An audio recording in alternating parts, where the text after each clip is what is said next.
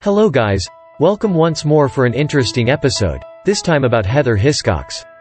But before we proceed, please hit that subscribe button and then click on the bell icon to be getting more interesting episodes like this.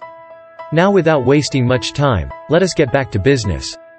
Heather Hiscox is a Canadian news anchor on CBC. Her morning show is something worth waiting for every day 6 to 10 a.m. Despite being so popular due her morning show on CBC, Heather has not only worked at CBC and neither does her net worth source revolve only at her journalism job at CBC.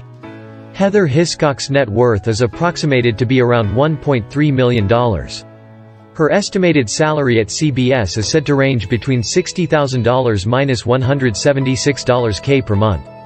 Heather's net worth is as a result of her accumulated years in the media industry ever since she joined radio during her early days.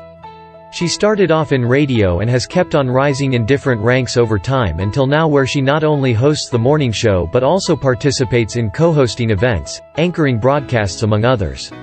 We already know that Heather Hiscox started off her career in CFPS radio. This was during her days in college, she even became a radio DJ at some point before joining television. Her first debut in the television industry was through Global Television Network. She later joined ASN, CBC Montreal, CFPL-TV and CHCH in Hamilton, Ontario. These were all before she joined CBC her current station.